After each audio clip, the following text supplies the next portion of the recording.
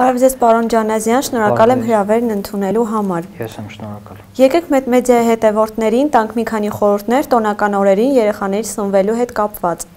Ամանորին արդյոք պետք է սահմանափակել երեխայի սննդակարգը։ Շատ բան կախված է նրանից, թե դա ինչ տարիքի երեխաներ են։ Գլոբալապես իհարկե չի կարելի սնվել նենց ոնց որ մեծ ասակներ, որովհետև երեխաների ռեզերվները ստամոքսարական համակարգի թույլ չի տա նրանց այն այն ձևի հեշտ անցնել այդ բանը բարդ այդ этаպով ոնց որ մեծերը այն այնպես որ այո իհարկե ցանկալի է որ իրանք մեծերի ռեժիմով այդպես տնից տուն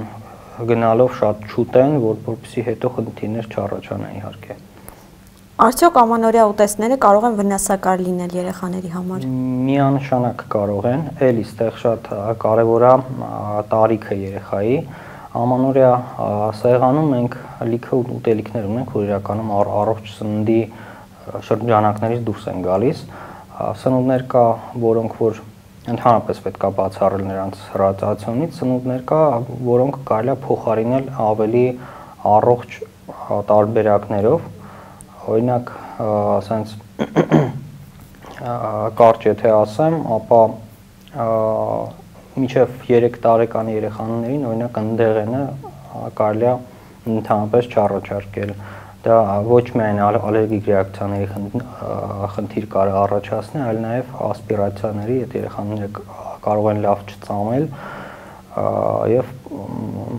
պարզապես խեղխեղտվել հատիկներով ծխեցված ուտելիքները չի կարելի երշիկեղենը այդ մեր սեղանի բան զակուսկեղենը չի կարելի մայոնեզ, կետչուպ, այդ բոլոր սոուսները իրանք իրանց մեջ պարունակում են լիքը բաղադրամասեր, որոնք իրականում երեխաներին չի կարելի։ Դիցուկ օրինակ, եթե մենք պատրաստում ենք օրինակ մարաքաղաքային աղցանը, հա, Եթե մենք դա անում ենք մայոնեզով, օրինակ, ապա երեխաների համար դա կարելի է անել թթվասերով օրինակ։ Ու այդ այդ այդ պիսով նրանց համար ստեղծել մի հատ առանձին սեղան միգուցե, որովհետեւ նրանք կարողանան ուտել այդ ամեն ինչը, շատ հետ չմնան մեծ ասակների սննդից, իրանց վատ չզգա եւ վայել են տոնի բոլոր ուրախությունները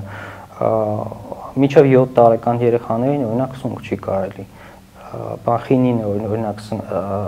սնկերի մեջ պարունակվող միջև 7 տարեկան երեխաներ չունեն այդ ֆերմենտները որ յուրացնեն դա, իսկ մեծահասակները օրինակ հեշտությամբ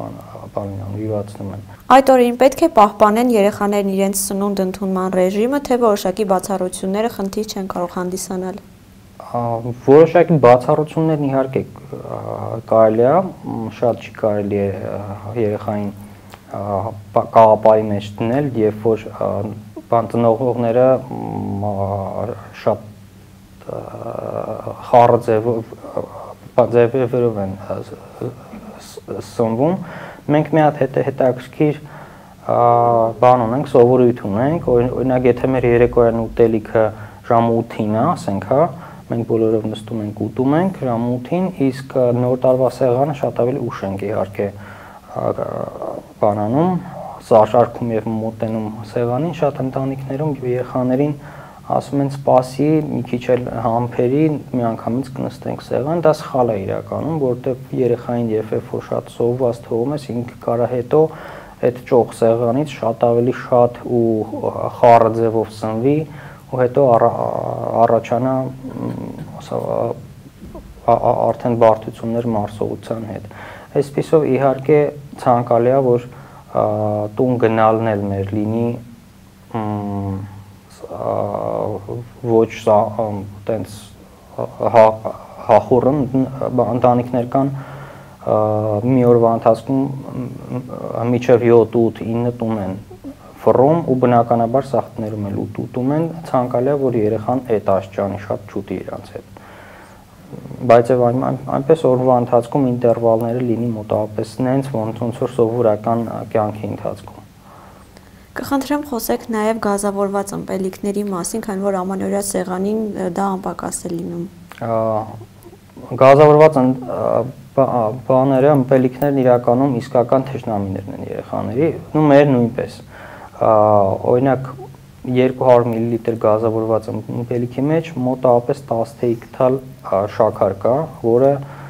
շատ վնասակար է եւ մեծերին եւ փոքրերին, փոքրերին առհասարակ շակակարը դա ածխաջուր է, հեշտ յուրացվող ու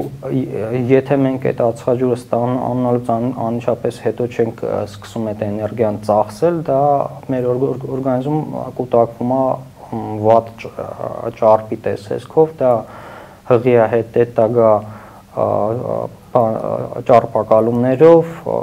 ստամոքսայքային համակարգի խանգարումներով, սիրտանոթային համակարգի խանգարումներով, երկրորդ տիպի շաքարային դիաբետով եւ այլն։ Այնպես որ եթե կա ընտանիքում փոքր երեխա, ցանկալի է, որ այդ գազարված ըմպելիքները լինեն կամ շատ սահմանափակ կամ չլինեն ընդհանրապես։ Իհարկե դա կլինի իդեալական, որ չլինեն ընդհանրապես։ Խնդրում եմ ամփոփելով խորհուրդ տվեք, թե ինչ կարող են ուտել երեխաները ամանորին ամանորին երեխաները կարող են ուտել իհարկե այն ամեն ինչն ինչ ինչ որ սովորաբար ուտում էին փոքր երեխաները օրինակ ովքեր որ հավելյալ սննդի յուրացման էտապում են ցանկալի է որ իրանք ուտեն այն ուտելիքները, այն սնունդը, որը մինչ այդ նրանք գերել են նորմալ յուրացրել են։ Ցանկացած նոր սնունդ, որը իրանք համար կարա հնարավոր ալերգիայի բան լինի, պատճառ լինի, իհարկե ցանկալի է զերծ մնալ որոշ սնունդներ կան, որ կախված տարիքից էլի ես ասացի, օրինակ